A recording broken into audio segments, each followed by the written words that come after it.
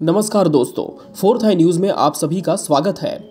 दोस्तों, आज हम आपको हमारे छत्तीसगढ़ के एक ऐसे राजनेता के बारे में बताने जा रहे हैं, जिन्होंने अपने राजनीतिक जीवन में कई मुकाम हासिल किए, लेकिन एक नक्सली हमले में उनकी मौत हो गई और उनका सियासी सफ़र अधूरा रह गया। आज हम आपके लिए लेकर आए हैं छत्तीसगढ़ कांग्रेस के दिग्गज नेताओं में शुमार रहे स्वर्गीय नंद कुमार पटेल की कहानी। नंद कुमार पटेल का जन्म 8 नवंबर उन्नीस सौ तिरपन को हुआ था। उनका विवाह नीला से हुआ था। उनसे उनके दो बेटे और दो बेटियाँ उत्पन्न हुई। इसमें दिनेश पटेल, सरोजनी पटेल, शशिकला पटेल और उमेश पटेल शामिल हैं। सभी बेटे बेटियों की शादियाँ हो चुकी हैं। बेटे दिनेश पटेल, जो कि उनके साथ ही साल 2013 के नक्सली हमले में मारे गए, उनकी मृत्यु से महज दो साल पहले ही शादी हुई थी। नंद कुमार पटेल ने अपने राजनीतिक सफ़र की शुरुआत साल उन्नीस सौ उनासी में सरपंच के रूप में की थी। वो प्रखंड विकास समिति रायगढ़ के सदस्य चुने गए थे। पहली बार 5 मार्च 1990 को पटेल विधायक चुने गए। इसके बाद 1990, उन्नीस सौ तिरानवे उन्नीस सौ अंठानवे दो और 2008 में वो विधायक बने और उन्नीस में मंत्री रहे। अप्रैल 2011 में उन्हें कांग्रेस प्रदेश अध्यक्ष के रूप में चुना गया था। नंद कुमार पटेल मध्य प्रदेश विधानसभा की पुस्तकालय समिति के अप्रैल उन्नीस सौ चौरानबे में अध्यक्ष बने।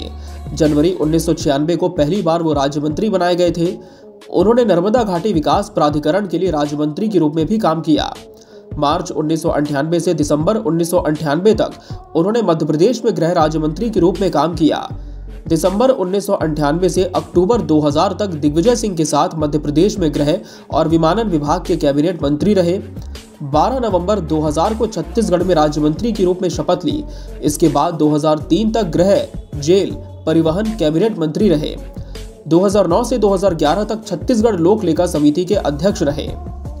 साल 2013 के जून में बस्तर की झीरम घाटी में नक्सलियों ने घात लगाकर हमला किया था। इसमें कांग्रेस के शीर्ष पंक्ति के नेता शहीद हो गए। कांग्रेसियों के काफिले पर हमले के बाद नक्सलियों ने तत्कालीन प्रदेश अध्यक्ष नंद कुमार पटेल और उनके बेटे दिनेश पटेल को अगवा कर लिया। नक्सलियों ने प्रदेश कांग्रेस अध्यक्ष नंद कुमार पटेल और उनके बेटे दिनेश पटेल को भी मार डाला। झीरम हमले के बाद नक्सली दोनों को जंगल ले गए थे। थोड़ी दूर ले जाकर दोनों के सिर में गोली मार दी। दिनेश के सिर पर टंगिया से भी प्रहार किया था।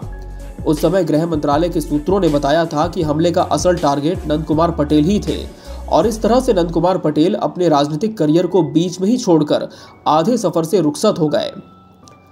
उन दिनों उनके बेटे उमेश पटेल बेंगलोर में एक सॉफ्टवेयर कंपनी में नौकरी करते थे। राहुल गांधी ने ही इस दुख से आहत उमेश को उसी साल के विधानसभा चुनाव लड़ने के लिए प्रेरित किया था। उमेश ने अपने पिता की विरासत को बरकरार रखने के लिए चुनाव लड़ा। 2013 के विधानसभा चुनाव में उमेश भाजपा के जवाहर नायक को करीब चालीस हज़ार वोटों से हराकर पहली बार विधायक बने थे। फिर 2018 में भी इसी सीट से बीजेपी में शामिल उनके प्रतिद्वंदी ओपी चौधरी को हराकर दोबारा विधानसभा पहुँचे और आज तक अपने पिता की विरासत को बरकरार रखे हुए हैं।